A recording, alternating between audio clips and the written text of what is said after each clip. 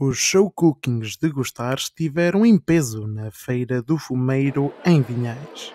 Estas demonstrações de culinária pretenderam essencialmente mostrar a qualidade dos produtos das terras de Trás-os-Montes. A ação de gostar as terras de Trás-os-Montes tem como propósito valorizar e dar a conhecer as potencialidades gastronómicas dos produtos que ostentam o selo das terras de Trás-os-Montes.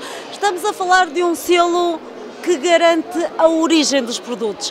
Ao estarmos a comprar produtos e a degustar produtos com o selo da marca das terras de Trás-os-Montes, sabemos que estamos a comprar produtos com origem no território das terras de Trás-os-Montes, que abrange nove conselhos do distrito de Bragança. São eles Alfândega da Fé, Bragança, Macedo Cavaleiros, Miranda do Douro, Mirandela, Mugadouro, Vimioso e Vinhais. Nós temos neste momento mais de 100 produtos certificados. O chefe António do Rosário esteve presente em todos os show cookings de gostar das terras de Trás-os-Montes.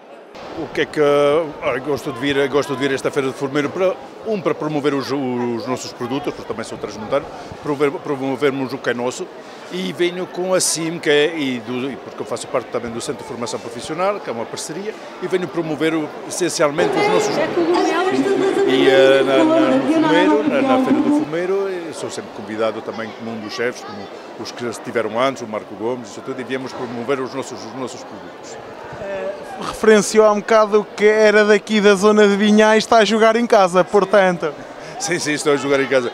É a minha, é a minha vila, sou daqui do Conselho de eu sou de, de uma aldeia que é Melho, ali eu, muito pertinho daqui, e claro, jogo, jogo, jogo em casa com os nossos produtos.